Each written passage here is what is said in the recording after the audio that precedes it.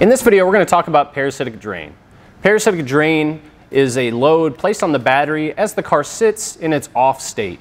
Sometimes that can be a module or a light bulb or any other various things that get stuck on that create a current and a load on the battery. As this sits long enough, it can pull the battery down to a point where the car doesn't start and won't turn on anymore. In order to check for this, we need some kind of tool that's going to measure current. And so I've got a couple options to do that. One is just a basic DVOM, but that requires that I disconnect one side of the battery, and we'll talk about why maybe that's a poor choice. My other method I can use is an amp clamp like this one. This one uses an inductive pickup that just goes around one of the battery cables and looks for the magnetic forces generated by current flow. This is a great tool because I don't have to disconnect anything and disrupt modules. To get this set up, I'm going to start with my meter. I've removed my leads so that I can plug in my amp clamp leads here. There's lots of different styles of amp clamps like this out there. Some of them will go into a meter like this. Some may have a screen that's part of the clamp itself. And so some of the setup's going to vary based on your tool. The important thing to look at is how does this amp clamp measure, what's its ability and range, and then how does it output results. This amp clamp has all of its outputs and abilities listed here at the bottom, and this is pretty standard. So my max input is 60 amps. So I can do up to 60 amps with this clamp. The output when I do my measurements is 10 millivolts per amp or 100 millivolts per amp based on my settings up here.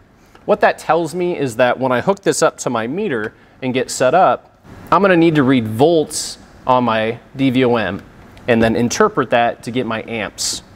To get this set up, I've got my leads plugged in on my meter and my volt ports. I've selected DC volts and I could go ahead and range this to get in the millivolt setting and I've got to turn my amp clamp on. I'm going to start with the lower setting where I get 1 millivolt per 10 milliamps of output and so we'll have to do some math after we get a reading.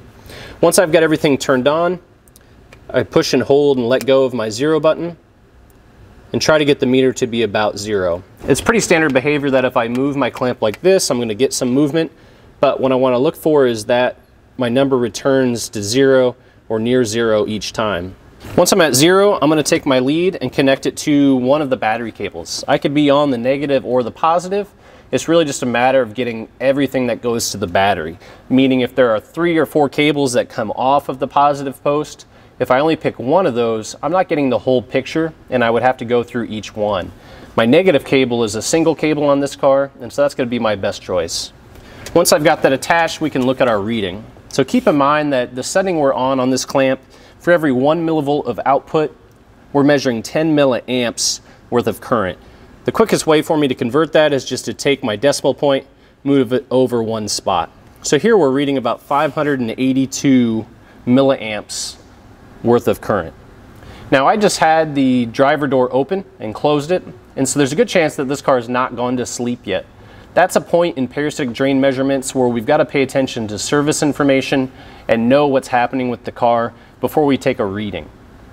Most cars can take anywhere from a minute and a half to two minutes on up to almost 20 minutes to go to sleep. In some cases, we can use a scan tool to force that car to sleep, and that can really cut down on the amount of time it takes a technician to do this test. Now that I've got a measurement, what do I do with that information? First, I need to look up my specification. How much should this vehicle draw? That number is going to change quite a bit based on the technology and module count that's within the vehicle. Older vehicles, our standard used to be about 25 milliamps as a maximum parasitic drain. That number has trended upward as we've added more modules and things, and to see anywhere from 35 to 50 milliamps and maybe beyond is somewhat commonplace now. So it's important to look at the spec and know what's normal for this vehicle. Another thing that will generally come out of that spec is how long is that time for the modules to go to sleep and go inactive. If I get a measurement of parasitic drain that's beyond my spec, meaning it's drawing too much, then begins the fun of trying to figure out where is that drain coming from. If you think about the complexity of a car, there are a lot of circuits. And so now you've got the job to track down where's that load coming from. And you've got some options about how to do that. The conventional method is to go through each fuse box, take fuses out one by one, and look for your drain to come down. Using a meter with a long lead, or using something like a picoscope where I can graph that parasitic drain can make that process a little bit easier. Another method I could use is to check volt drop across the top of fuses. All of these are incredibly labor intensive and take some time. I do have to be careful as I remove fuses that if I take a fuse out and put it back in and disrupt the power supply to a module, I'm probably going to wake up that module and cause capacitors to get charged again, and that's going to take a little bit of time for it to go back to sleep. That's our getting started process on measuring parasitic drain with an amp clamp.